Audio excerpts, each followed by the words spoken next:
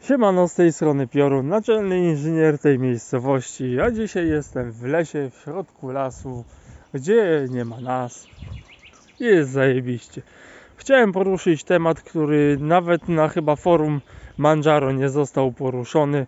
Chodzi o kompatybilność złączy w Linuxie, czy Manjaro XFC, czy Manjaro KDE Plasma, czy ogólnie Manjaro GNOME.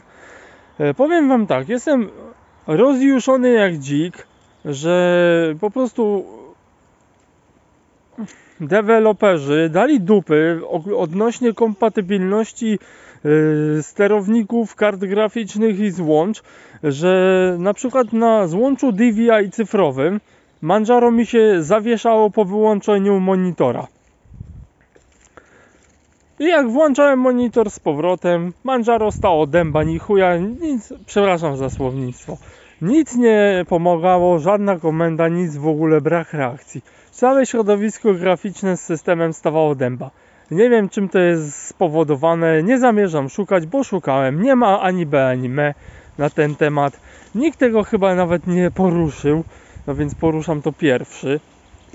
Yy, o co tu naprawdę chodzi? A przełączyłem się po prostu yy, na stary kabel yy, VGA do monitora, bo mam jeszcze takie stare podłączenie w monitorze na stary kabel VGA, jak kiedyś były w starych kartach graficznych, ale mam wejścia właśnie HDMI,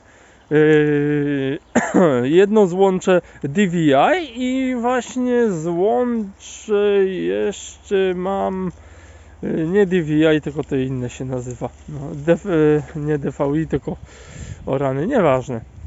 No. I DisplayPort, o właśnie, DisplayPort jeszcze mam w karcie. No i chodzi mi o to, że kurde macie na, sta- na przejściówce z DVI na VGA Manjaro zapierdziela jak złoto. Nic się nie dzieje, nic się nie zawiesza, żadnych problemów nie mam. A powiem wam szczerze, na kablu DVI DVI dziękuję, do widzenia.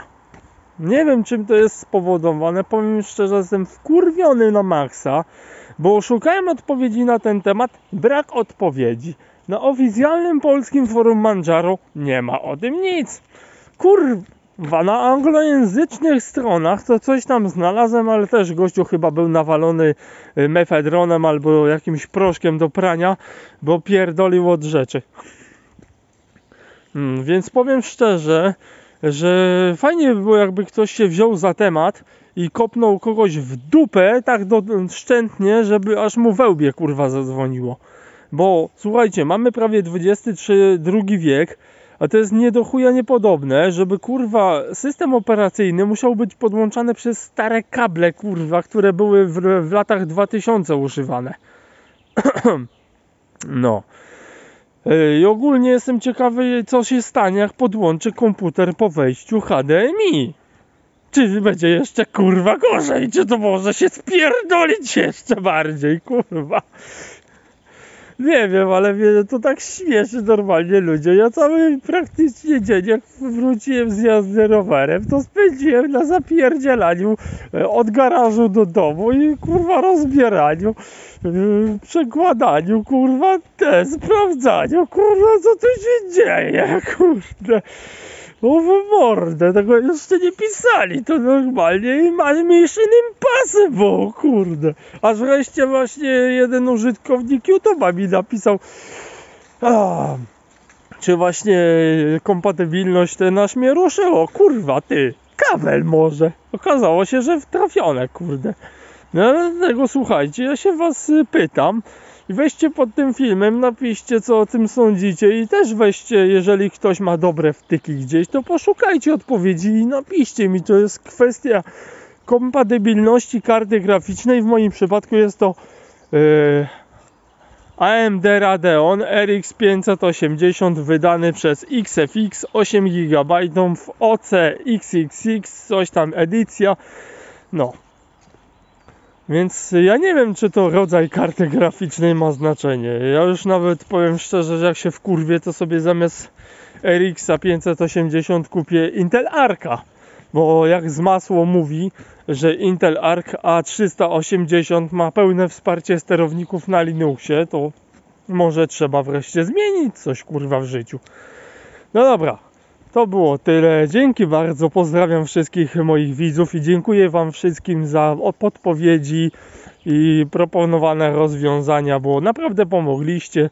I to Wy naprawiliście mi komputer, nie ja sam. Ja to tylko zrobiłem to, co trzeba, ale to Wy naprowadziliście mnie na rozwiązanie problemu. To nie chodzi o to, że ja nic nie umiem, tylko człowiek jest całe życie głupi i całe życie się uczy, a czasem pomoc większej ilości osób rozwiązuje problem, na którym bym siedział pewnie miesiąc. Jak to czasem bywa. Dziękuję wszystkim bardzo.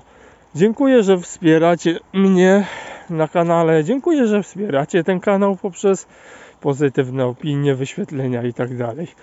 Bo to tylko pomaga. Bardzo, bardzo, bardzo Wam dziękuję. I pozdrawiam serdecznie. Piorun Burza Elektryk.